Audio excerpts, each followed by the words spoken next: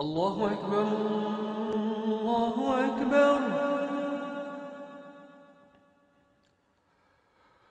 الله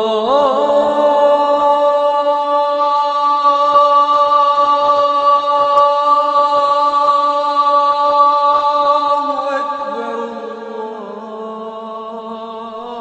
الله The fall of the Roman Empire left an opportunity for another empire to gain supremacy. the Prophet Muhammad, an orphan brought up by his uncle, would go on to change the world with an unimaginably influential faith. In the year 610 AD, in a cave within the hills outside of the city Mecca, Muhammad had a vision of an angel. This angel told him to preach the revelations that would soon be given to him by God. Muhammad did exactly this, as he preached the oneness of God to the people of Mecca. Eventually, Muhammad and his followers left Mecca and resettled in Medina, where he continued to spread God's revelations.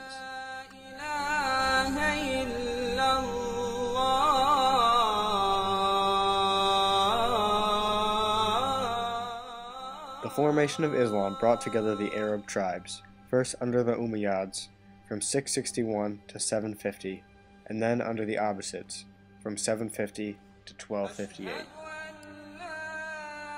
The Abbasid Empire was the golden age of the Islamic Empire, where trade routes opened that spread wealth across the Near East and Asia.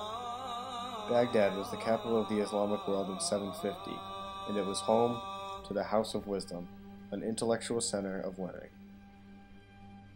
Years of prosperity in the Islamic Empire allowed for various intellectual advancements that in many cases would lay the foundation for modern studies.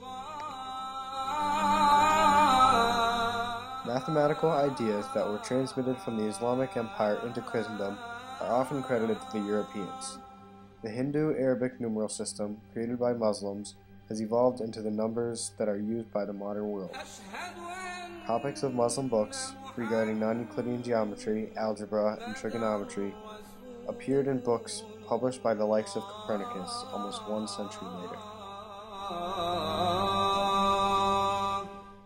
A model of the anatomy of the human body that originated in the Islamic Empire was used for centuries after it was produced, influencing the medical studies of that era.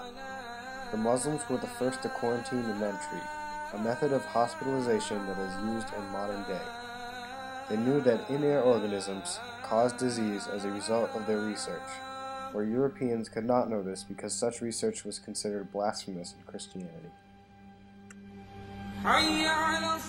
Finally, Muslims were the first to create a telescope based on their knowledge of how the human eye worked.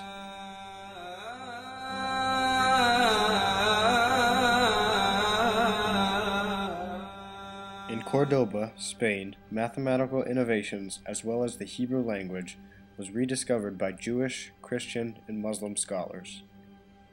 The philosophy of the Greeks was translated and preserved in Muslim libraries in Cordoba as well.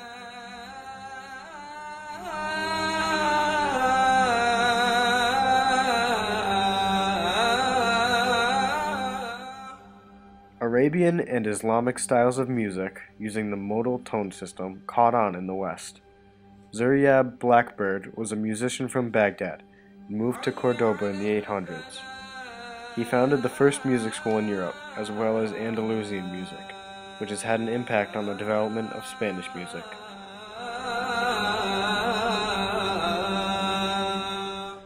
During the 1200s, the Mongols conquered Baghdad. Although the intellectual advancements of the Abbasid Empire would remain, this marked the beginning of the decline of the Islamic Empire.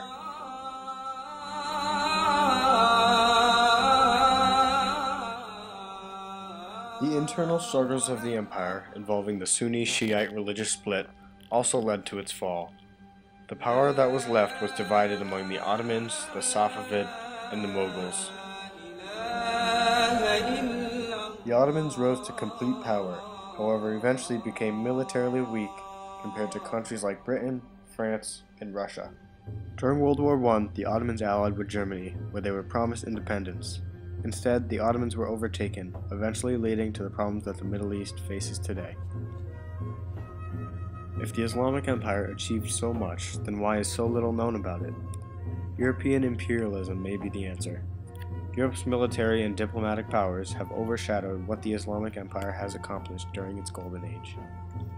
Orientalism, explored by Edward Said, suggests that countries of the East, in this case specifically the Middle East, are not as colonized or civilized as those of the West. Regardless of Western stigmas on Middle Eastern society, the achievements of the Islamic Empire greatly affected world history.